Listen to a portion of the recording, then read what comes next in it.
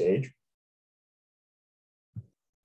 All right, good afternoon, everyone. It's wonderful to um, have you um, attending in attendance of our session here today. And uh, we have a full house, so we're really excited about it. Um, I want to, um, we're just going to advance the slide here. Wonderful. And so this is just a quick uh, kind of synopsis of what we're going to attempt to accomplish today. Um, and what you're going to note is that um, we're going to give you an update on the work since last year. And so what this is really about is kind of where have we been with this project? Where are we now in the present? And where are we headed? And most importantly, uh, we want to have a dialogue with you about where we are headed. So thank you so much. You could advance the slide there, Lesley.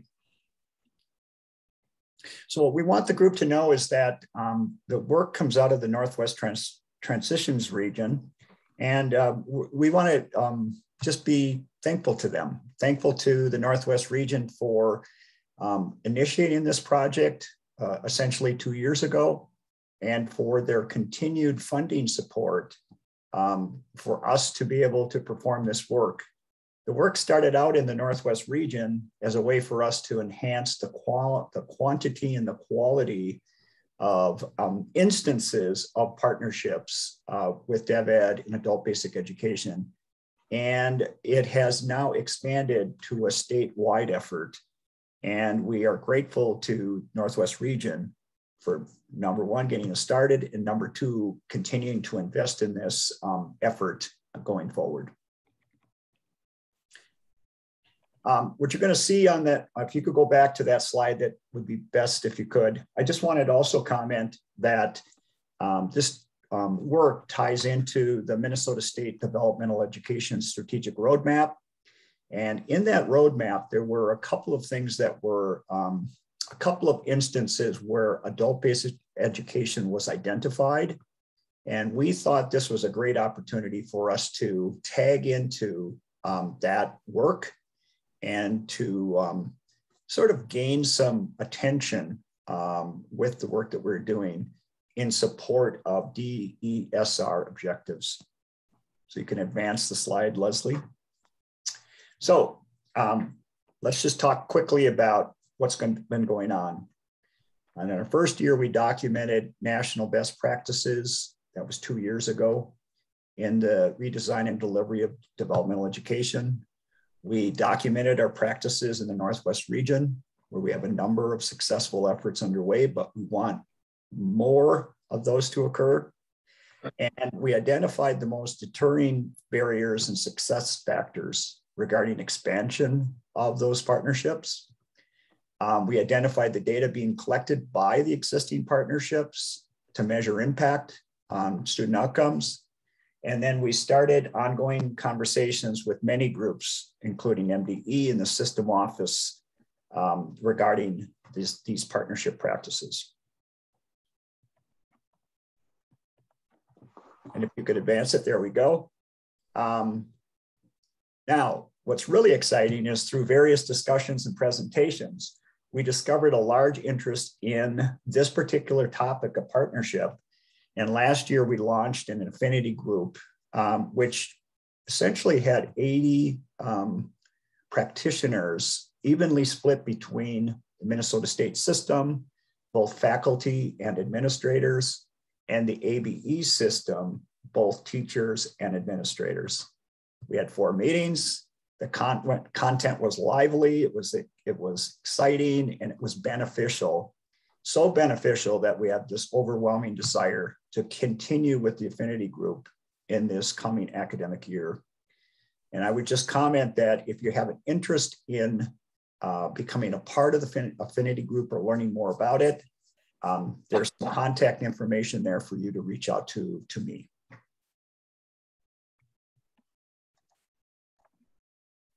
All right, another um, really excellent outcome was that we had this desire to take a look at a, a developing or arriving at the development of some type of common data set that we could use across the state that would help describe and sell the value proposition of uh, partnerships in which um, we were um, advancing really successful student outcomes. And so I want the group to know that we have um, this, uh, this data or this information available to anybody with our group or that's watching today that has an interest in seeing what are those things that we're interested in measuring um, and that we're going to be continuing with this, um, this work in the coming year. And with that, I'm going to now hand it off to my partner, who I love to work with, and that's Lesley um, Blicker. And Lesley is going to kind of walk you through um, what's going on right now and what does the future hold for us.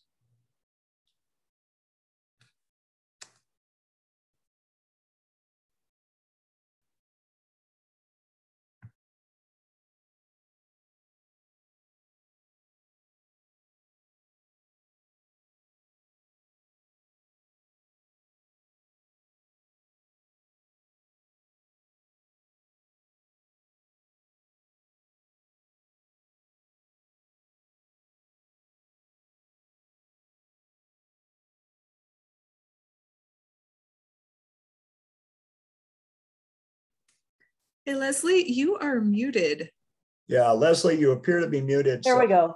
Okay, believe it or not, I really do know technology. My apologies. Um, one of the and things, Lesley, it needs to be in present form, please.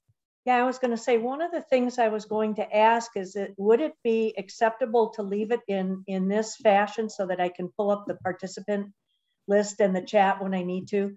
Otherwise, it fills up the entire screen and I can't see my slides. Does this work for everyone? If not, I'm happy to, to move it over.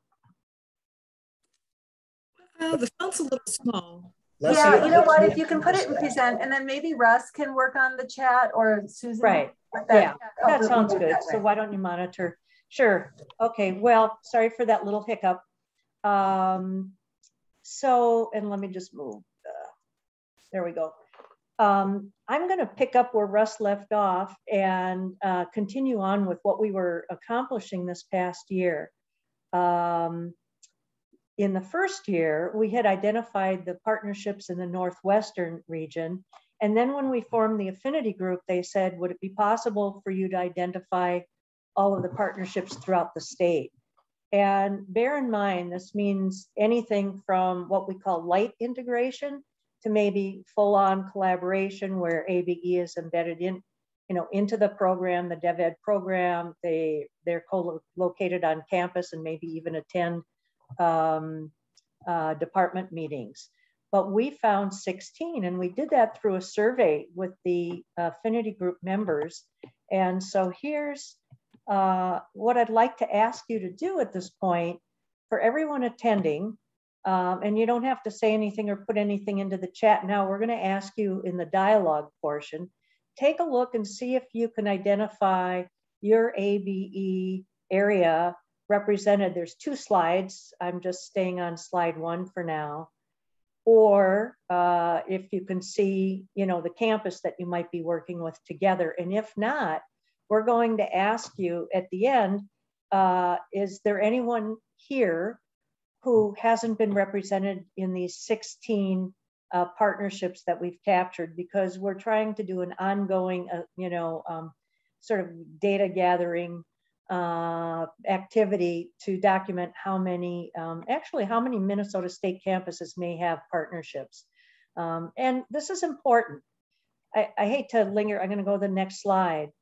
It's important because you'll see in our upcoming year, if we want to try to work uh, with the Minnesota State institutions um, in getting this word out, it's important for some to see just how many partnerships there are or who they might be able to go to to ask for information or some guidance.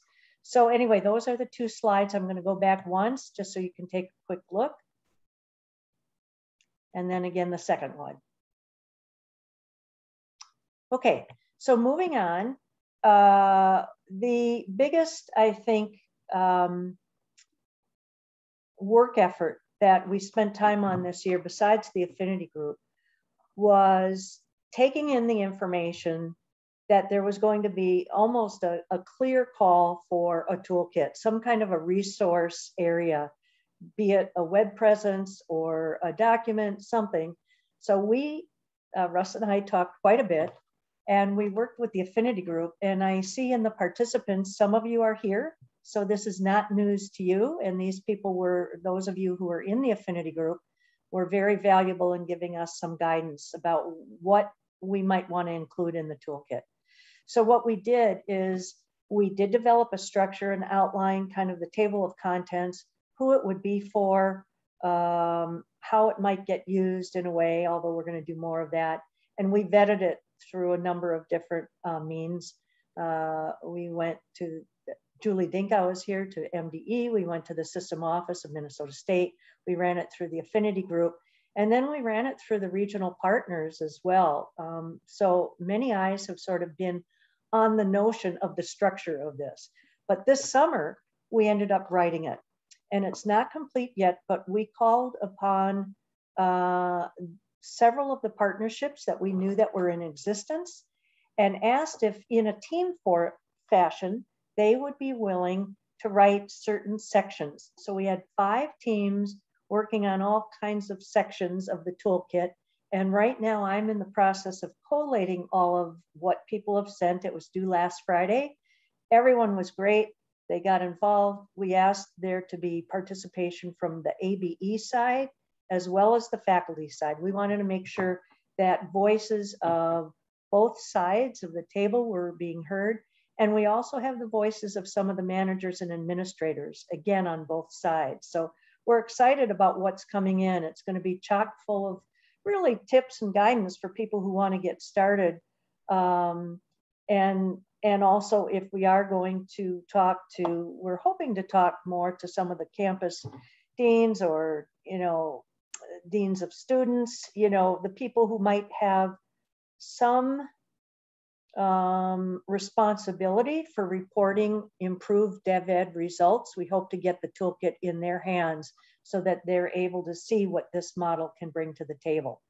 Um, and trust me, the toolkit has all kinds of uh, benefit. We, we, have got the, what we call the value proposition, the benefits to students uh, by having ABE work in the school together with faculty member. So uh, that's really chapter one uh, to a certain degree. So we're hoping to get it published by mid-September and Atlas, I should go back here. Uh, we've been working with Atlas, who has been very gracious in uh, saying that they'll find an appropriate place for us to have a web presence. Um, we're not sure yet if it'll be a series of web pages or a document, but might be both so that people can download it. Uh, but we're going to work on designing that in the next couple weeks. And just so you know, the chapters, and I'm looking at the time, the chapters of the toolkit, uh, we have a context. And that context, of course, includes how do you use the toolkit? Who is this for? Why on earth are we talking about redesign of developmental education? Uh, how does the ABE model fit into it? And then we go right into, okay, if you want to get started, how would you do it? Who contact, who initiates? Which side of the house initiates? How do you initiate? Who do you talk to? How do you find champions for it? And then in chapter two, and there's a whole lot more than just those questions, but chapter two, we really want to talk about the levels of collaboration, sort of the modes for teaching, because that seemed to be one of the biggest questions people had. Um, and uh, finally, not finally, but chapter four, we have the need for data and we're going to talk about the common data set that Russ had talked about and hopefully um, making the case for why we'd like everyone to be able to collect that data. And the data, we're hoping for data that goes beyond a single course if possible, um, just following the student through the program.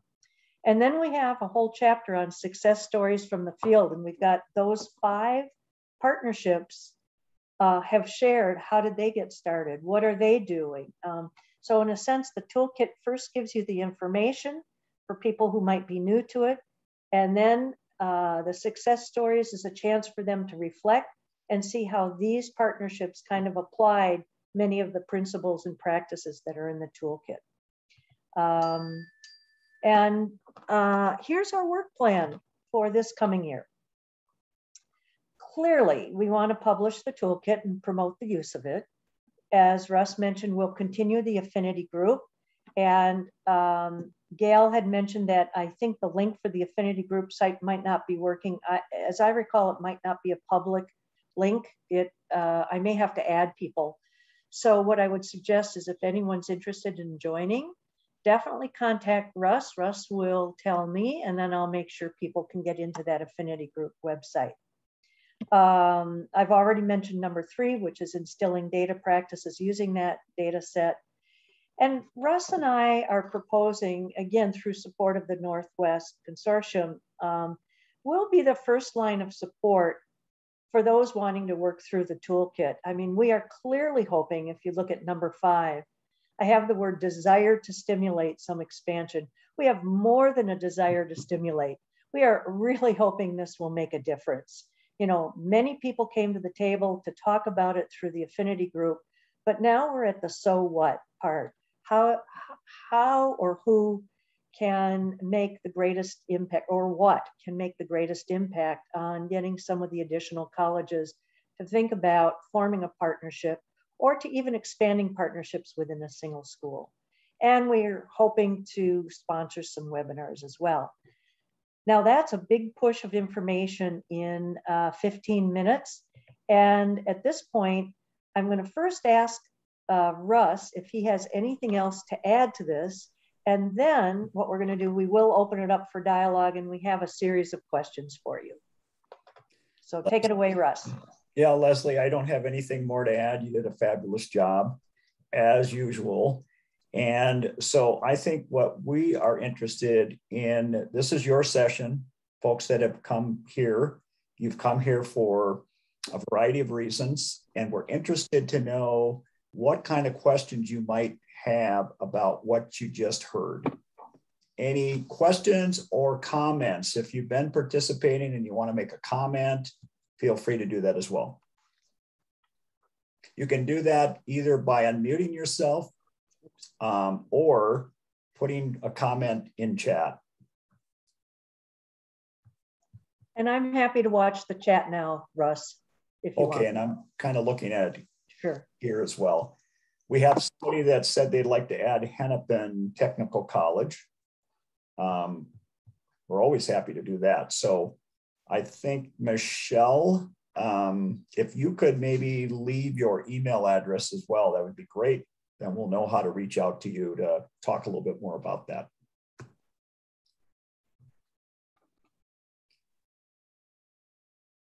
So come on, I know you've got questions out there or comments something brought you here, some curiosity and interest to, to get something started, perhaps an interest to take something you already have underway and enhance it, make it better.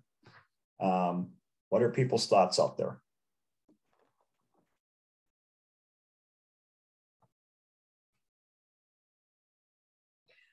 Well, while we're waiting, Russ, I'm going to say um, we did, this is just a little humor while you're gathering your thoughts, right? So the pregnant pause segue. Russ and I, once we found out it was 45 minutes, we did such a great job to end it in 15 minutes. So, so now we're really looking to you to, uh, to talk to us, but maybe Michelle can tell us a little something about the partnership with Hennepin Technical. I'd love to hear about that.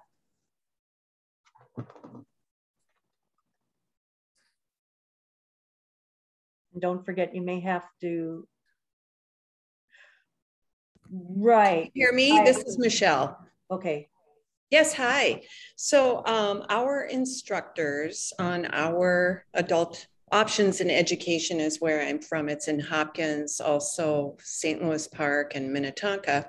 Our instructors teach medical terminology, which are credits through Hennepin Technical College. So this last year we had students finish that. I walked them over.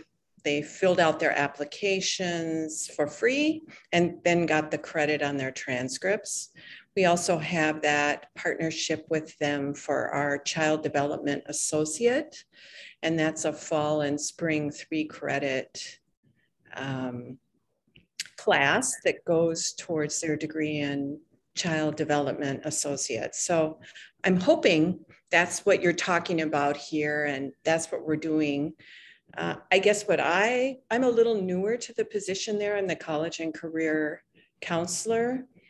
Um, we are going to be developing a college readiness course this year, and it would just be nice to see that get college credit as an elective credit, whether it's North Hennepin Community College, Hennepin Technical College, Normandale, any of that, because, you know, we're hoping that that curriculum aligns with their developmental preparedness class that they give college credit to their students for. Mhm. So anyway, that's where we're at at this point. So hopefully that's what you were expecting to hear from me.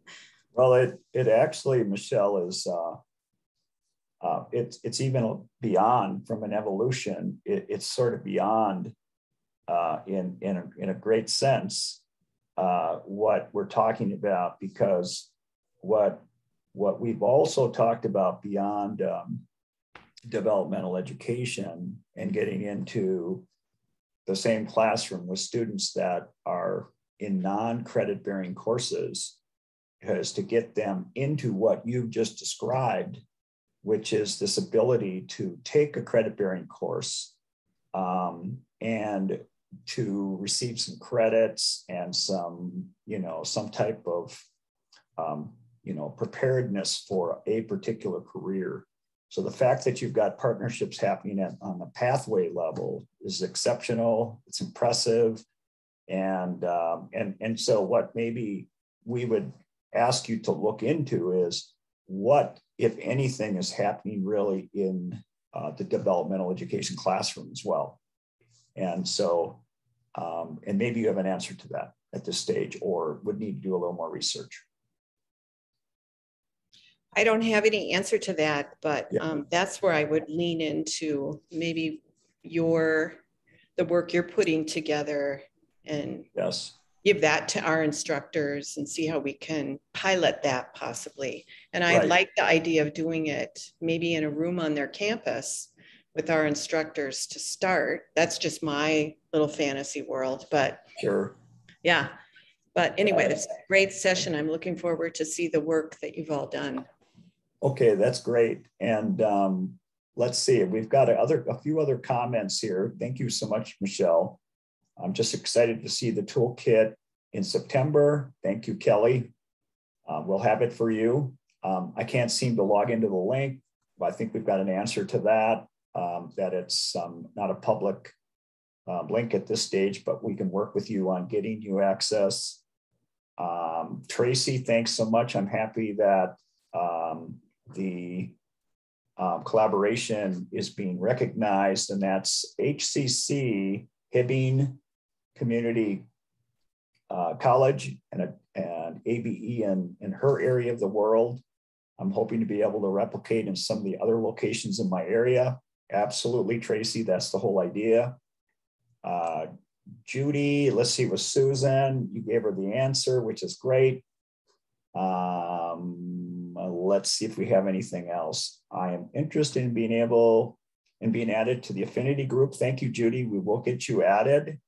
Thanks so much. And thank you for noting uh, your co-teaching and dev ed classes in English and algebra and also co-teaching tech math with Riverland, Riverland Community College in Austin. Uh, we'll be get we'll get that added to our mix. Um, and what do we have here? Could ABE classes taught by ABE teachers earn college students college credits or, or credit for prior learning? Um, let's see. Could ABE classes taught by ABE teachers earn students college credits or credits for prior learning? Has anyone in our group had some experience with that in today's session?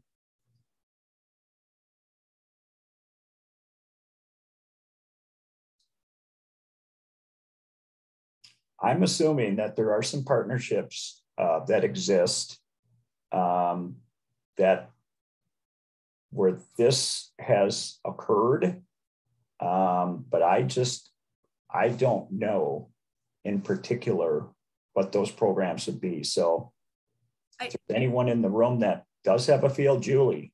Uh, Yeah, I was just thinking that generally, um, they will not accept, uh, credits taught by an adult basic education instructor unless it's been an approved, um, articulation agreement. right, And I believe there's only one, uh, ABE consortium that's been able to do that, and that's Rochester.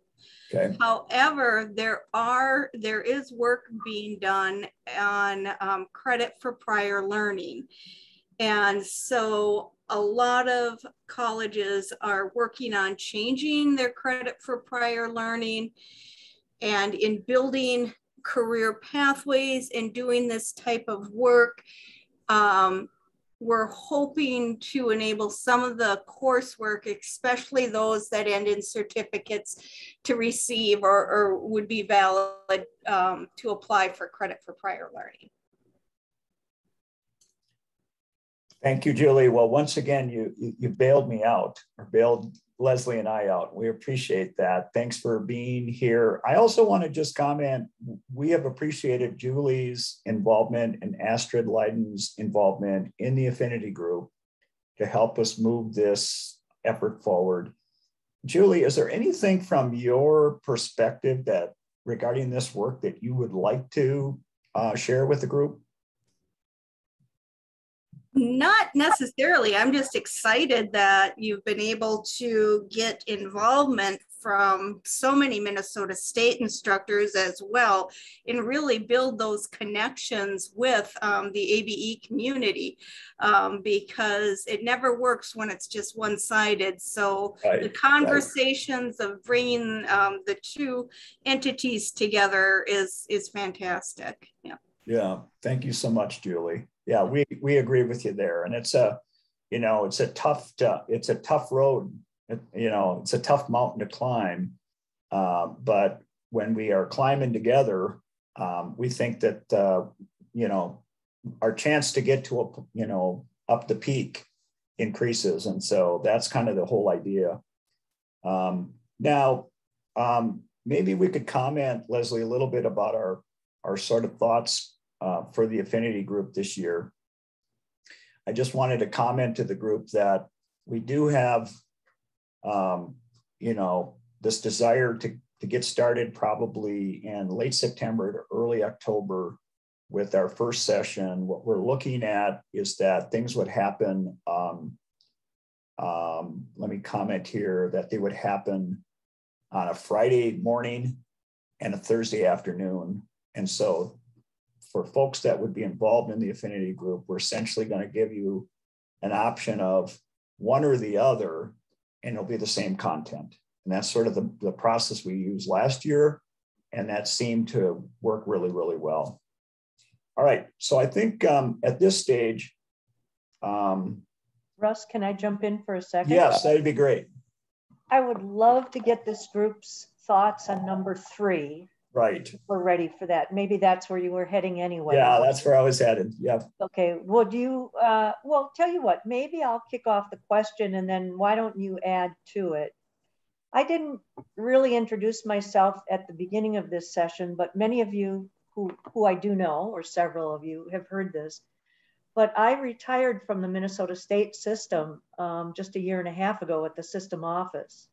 Now, while I wasn't working in DevEd, um, I certainly know a lot of the people there who, you know, programmatically, and also Julie, I was going to say, I did know the people working on the credit for the CPL, credit for prior learning. And if anyone needs any contacts, I can certainly provide that as well. Um, but the one thing I do know, having worked there for 17 and a half years, is I kind of know the structure of the institutions. And I know uh, in some way, some degree, what do I want to say here?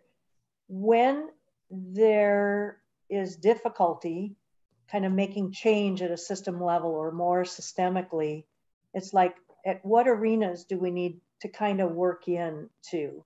And um, I know a lot of people say that the greatest of these collaborations start at the grassroots level. No question that a faculty member, uh, I'm sorry, that an ABE instructor who can find a very passionate faculty member at one of the campuses might decide to do this and then levitate it up to their respective managers to kind of either get the funding or the permission.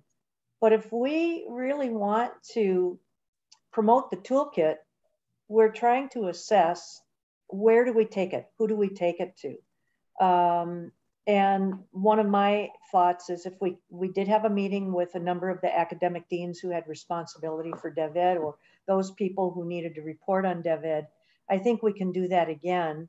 Um, but it might be mean seeing if we could get a meeting of advisors or other people. So for those of you in the field, as you're thinking about where do I go? You know, I mean, we have lots of tips in the toolkit about where do you go, but where do we go to try to get the toolkit, you know, to get it as much traction as possible? So that's a long way of asking my question. Do you have thoughts on that? And Russ, please add. No, yep. I, I will not. It's well done. ABE newsletter. Now, who who does the ABE newsletter? I think I think that's Atlas. I think Atlas. Okay. if I'm that's right. Atlas. Yeah. Yes. Yeah. Thank you. There is a, a newsletter of the Academic and Student Affairs Division at Minnesota State, and we're definitely going to put it in there. That goes to all of the uh, CSAOs, CAOs, deans. You know, um, so it'll be far wide there. Okay. Anything else?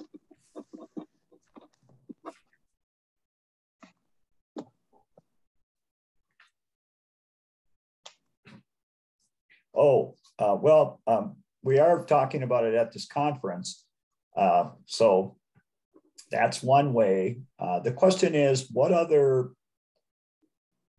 professional development opportunities might exist out there in the future, regional meetings or what have you, where maybe we could tie into um, communication about those or an opportunity to present or what have you.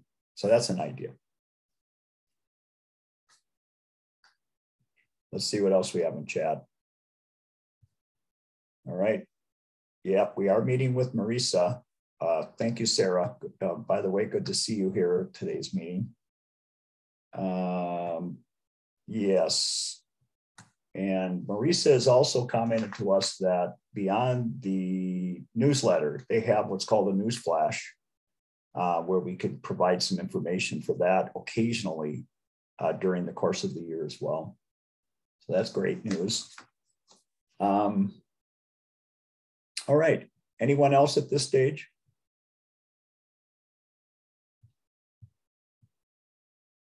All right. Um, hearing. Well, I have one more question, Russ, okay. and we may ask this of the affinity group too. Again, who's the audience of the toolkit? It may be both ABE instructors and college, either faculty or college administrators. But if we're trying to get the information out uh, you know what? Let, let me re let me think again. I think we need to ask some mem yeah, for I okay. Yeah, I think what we have is we certainly have AB, we've heard of ABE instructors and ABE staff wanting to form more partnerships, right? So it seems like the initiation comes from that side. So maybe my question is, is who are we tapping into for ABE to use the toolkit? Since it seems like there's so many ABE people who already want the, is it those who don't know about it yet, who don't know about forming partnerships, or it's the ABE folks who maybe have thought about it but don't know what to do? Is that why we're promoting it through the ABE newsletter? That's my one question.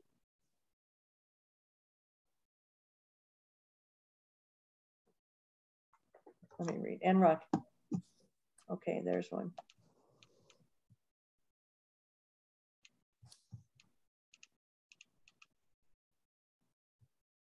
Is Sarah's just commenting that would be appropriate Mighty Networks platform too. Yeah, Not, not aware of that, uh, but thank you for that, Sarah. We'll check that, check that out.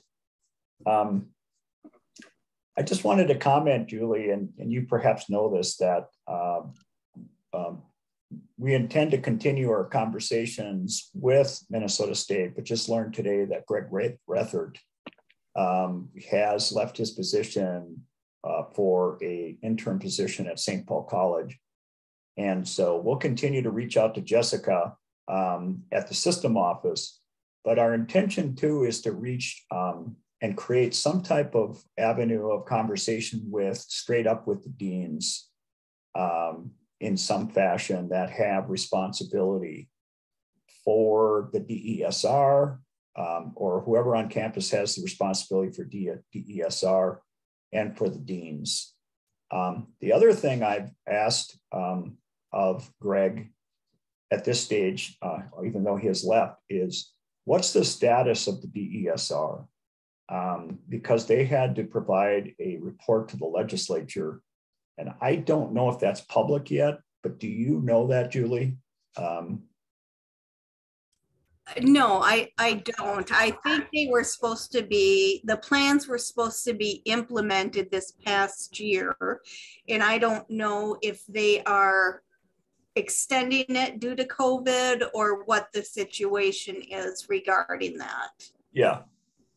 Yeah. Um, so for those of you that aren't aware of the DESR, essentially it was a developmental education strategic roadmap. It was to address really the shortcomings um, of um, developmental education in terms of, you know, the number of students that are, you know, advancing through developmental education um, successfully.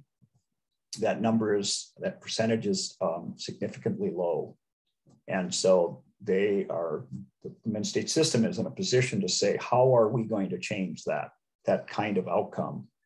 And so what we want to find out and um, is, of course, now that they've gone through a series of, um, of, of, of practices at each of the campuses, and they have sort of maybe settled on a few outcomes that are desirable going forward. What are those, right? And um, what we're, of course, hoping is that one of the more striking um, examples of success is going to be adult basic education as, as a partner, a potential partner. So uh, if as we learn more, um, we'll be sharing that, of course, with the affinity group.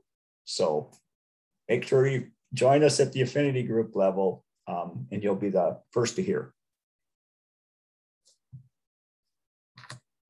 All right. Um, you had a question about COVID um, instruction, Lesley. Did you want to pose that for people? Uh, yeah, maybe I can just uh, talk about it. Yeah. We, I'll pose it. Um,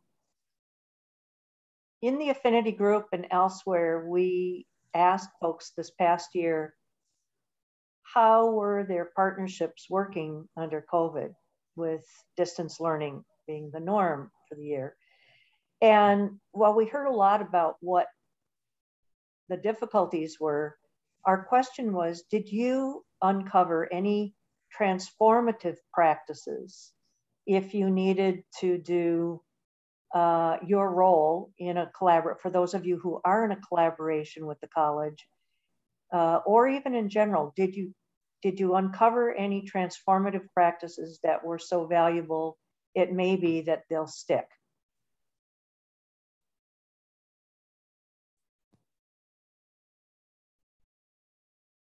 we know that people, you know, it's sort of uh, human nature to talk about where the issues were. And we certainly heard where the issues were. Uh, but if that's what you're inclined to post, feel free to put that into the chat as well. Um, we're trying to move people on to say, okay, but did you find any unexpected successes in some means? And we might, Russ, say, well, while people are thinking maybe the lack of messages here could be that it, it was really too difficult to, to get to any kind of transformation. We were just scrambling just, just to find our students and to meet with them just to survive, right? Right, right. Yeah, that's valid. It, it, what's interesting, I think the reason too why that question is asked is that uh, unfortunately we may very well be in the position again where we are maybe in person with students again, and then we have a disruption, and then all this, you know, COVID um, disruption again. And uh, we're back in the business of having to deliver, um, you know, um, via distance. And so, if there are practices that we should be lifting up, um, we want to help identify those and make sure that they're known. All right. Um, well, I think I think uh, we're essentially. Let's see. Somebody has made a comment here. Let's take a look. Judy is indicating I co-taught and learned better tips for using Zoom to teach DevEd classes. My co-teacher was a pro. Uh, Judy, if you could indicate um, what program you're part of, that would be helpful. And then Russ Julie said that some of the online statewide work around adult career pathways uh, was innovative. And I don't know if she wanted to speak to that. Um, we have a couple minutes uh, left. Uh, Julie, if you want to comment about any of that, that would be great. Sure. I was just referring to um, uh, some of the sessions that I attended during Summer Institute, and one of them was the work that um, Meg and Callie had been doing up in Sauk Centre, Minnesota, working with uh, the healthcare core curriculum and getting credits through Minnesota State um, for the course, which is which is virtual, and then also in South uh, West um, region uh, I think they're doing innovative regional work of offering classes online. So I am I am curious to know how uh, developmental education and adult basic education relationships might be able to uh, build regionally around like all say all the Minnesota state campuses in the Southwest or something something to that regard. Yeah. Um, so I just thought those were some good practices. Right. Well, they're so good, those practices in the Southwest, that I know the Northwest region um, put into its work plan for this coming year uh, the desire to replicate um, that, um, that approach, that regional approach, with some courses, um, distance courses um, that they plan to get off the ground in similar fashion. So kudos to the Southwest and to the folks in the Northwest that said, we want in on this and uh, we're going to step forward too um, and um, be able to provide value to our um, area residents. So I think we're, we're nearing the end. Um, if there's anything else at this stage that people would like to quickly comment on, otherwise I think we're about a minute or less away from uh, wrapping up our session. Um, please put into, into the comments section anything you like at this stage. Uh, Lesley, what do we want to say to our folks that attended today? Well, thank you for attending. We, we hope we provided some, you know, useful or valuable information and uh, we look forward to seeing whoever uh, wants to join in on the affinity group as well. So thank you all, especially for the last session of the day, right? Of the right. whole conference. So that's right. And uh, stay tuned for for the toolkit and communication about it. And uh, we hope it, um, it brings you um, value as well. So we want to thank you for your attendance today and wish you the very best.